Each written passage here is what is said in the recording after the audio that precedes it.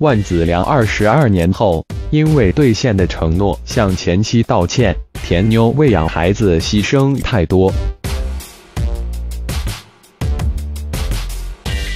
万梓良二十二年后，因为兑现的承诺向前妻道歉，田妞为养孩子牺牲太多。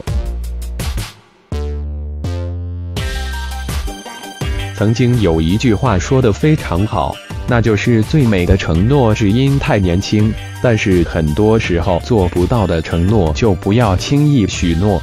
万梓良此前也曾经有过一段婚姻，他当年选择和田妞结婚。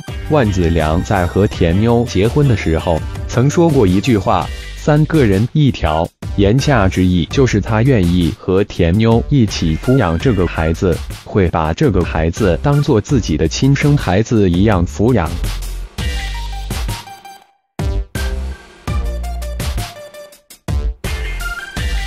可惜的是，仅仅过了四年，他就提出了离婚，理由是性格不合。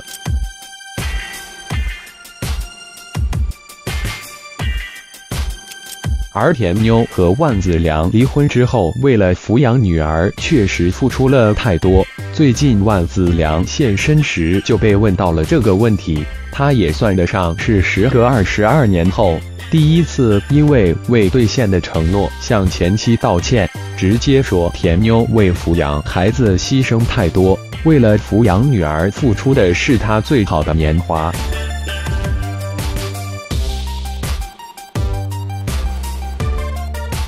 其实当初万梓良想和田妞结婚，应该也是觉得自己能够担负起这个责任，结婚肯定也是彼此深爱的。他们结婚时还邀请来了邵逸夫作为他们的证婚人。不过年少的承诺经不起时间的打磨，两个人到最后还是分道扬镳了。在离婚之后，田妞为了抚养孩子，多年来一直不肯休息。虽然因为透支身体生了很多病，但是田妞觉得付出是值得的。